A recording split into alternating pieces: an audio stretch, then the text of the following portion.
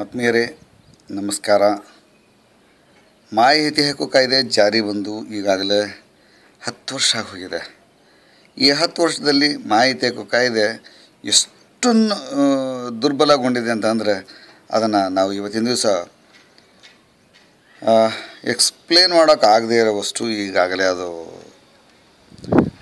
ನಿರ್ವೀರ್ಯ ಸ್ಥಿತಿಯನ್ನು ತಲುಪಿಬಿಟ್ಟಿದೆ. ಒಂದು ಕಡೆ ಮಾಹಿತಿ ಆಯೋಗದಲ್ಲಿ ವರ್ಷಗಟ್ಟಲೆ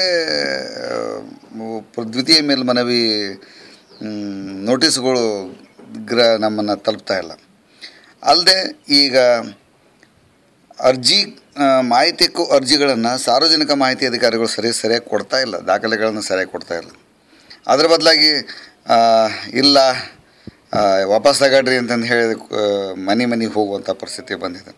ಅಥವಾ ಮಾಹಿತಿ ಹಕ್ಕು ಅರ್ಜಿ ಯಾರಾದರೂ ಹಾಕಿದ್ರು ಅಂತ ಅಂದರೆ ಸರ್ಕಾರಕ್ಕೆ ಕಂಪ್ಲೇಂಟ್ ಮಾಡ್ತಾರೆ ಬ್ಲಾಕ್ ಮೇಲ್ ಮಾಡೋದಕ್ಕೆ ಪ್ರಯತ್ನ ಮಾಡ್ತಾರೆ, ಅಷ್ಟು ಕೇಳ್ತಾರೆ, ಇಷ್ಟು ದುಡ್ಡು ಕೇಳ್ತಾರೆ ಅಂತ ಅರ್ಜಿದಾರರನ್ನೇ ವಂಚಿಸುವಂಥ ಕೆಲಸ ಮಾಡ್ತಾರೆ.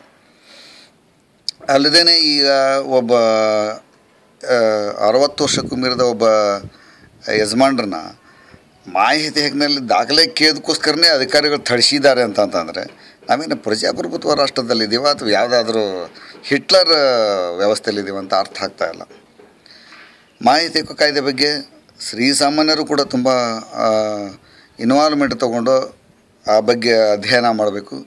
ಅಧಿಕಾರಿಗಳು ಕೂಡ ಸರ್ಕಾರದ ಜನರ ಹಣದಿಂದ ಇವತ್ತಿನ ದಿವಸ ಅವರ ಕುಟುಂಬಗಳು ನಡೀತವೆ. ಸರ್ಕಾರಿ ಅಧಿಕಾರಿಗಳೇನು ದೇವಮಾನವರಲ್ಲ.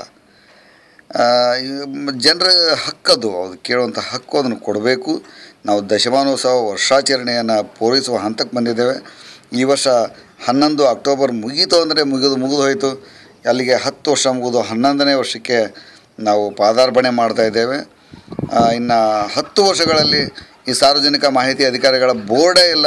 ಫೋರ್ ಒನ್ ಬಿ ನೋಟಿಫಿಕೇಷನ್ ಆಗಲಿ ಅಥವಾ ಫೋರ್ ಒನ್ ಎ ದಾಖಲೀಕರಣ ಆಗಲಿ ಅಥವಾ ವೆಬ್ನಲ್ಲಿ ಅದನ್ನು ಹಾಕುವಂಥ ವ್ಯವಸ್ಥೆ ಆಗಲಿ ಇನ್ನೂ ಸಮರ್ಪಕವಾಗಿ ಆಗಿಲ್ಲ ಅನ್ನುವಂಥದ್ದು ಈಗಾಗಲೇ ಎಲ್ಲರಿಗೂ ಗೊತ್ತಿರುವಂಥ ವಿಷಯ.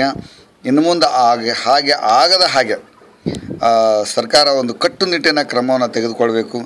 ಮಾಹಿತಿ ಹಕ್ಕು ಕಾಯ್ದೆಯಡಿ ದಾಖಲೆಯನ್ನು ಕೊಡದೇ ಹೋದರೆ ಅಂಥ ಅಧಿಕಾರಿಗಳು ಕರ್ತವ್ಯ ಲೋಪ ಮಾಡಿದ್ದಾರೆ, ಅಧಿಕಾರವನ್ನು ದುರುಪಯೋಗಪಡಿಸಿಕೊಂಡಿದ್ದಾರೆ ಅಥವಾ ಅವರ ವಿರುದ್ಧ ಒಂದು ಕಠಿಣವಾದ ಕ್ರಮ ತೆಗೆದುಕೊಳ್ಳುವಂತಹ ಒಂದು ಸುತ್ತೋಲೆಯನ್ನು ಹೊರಡಿಸಬೇಕು. ಮತ್ತು ಆ ಮಾಹಿತಿ ಕೊಡದೇ ಇದ್ದರೆ ಖಂಡಿತ ಅವರಿಗೆ ತಕ್ಕ ಶಿಕ್ಷೆಯನ್ನು ವಿಧಿಸುವಂತಹ ಕೆಲಸ ನಡೆಯದೆ ಹೋದರೆ ಪ್ರಜಾಪ್ರಭುತ್ವಕ್ಕೆ ಅರ್ಥ ಖಂಡಿತ ಇರೋದಿಲ್ಲ. ಅದರಿಂದ ದೇಶದ ಅಭಿವೃದ್ಧಿ ಸಾಧ್ಯ ಇಲ್ಲ. ಸಾರ್ವಜನಿಕರ ವಾಗ್ಮತ ಅಭಿವ್ಯಕ್ತಿ ಸ್ವಾತಂತ್ರ್ಯಕ್ಕೆ ಪೂರಕವಾದಂಥ ವಾತಾವರಣನ ಕೊಡುವಲ್ಲಿ ನಾವು ವಿಫಲರಾಗಿದ್ದೇವೆ ಅನ್ನುವಂಥದ್ದನ್ನು ನೋವಿನಿಂದ ಹೇಳಬೇಕಾದಂಥ ದುಸ್ಥಿತಿ ಭವಿಷ್ಯದಲ್ಲಿ ಬರಬಾರ್ದು. ಇತಿಹಾಸ ನಮ್ಮನ್ನು ಈ ರೀತಿ ಮಾಡಿದರೆ ಕ್ಷಮಿಸೋದಿಲ್ಲ ಅನ್ನುವಂಥ ಮಾತನ್ನು ಇಲ್ಲಿ ನಾನು ಹೇಳೋದಕ್ಕೆ ಬಯಸ್ತೇನೆ.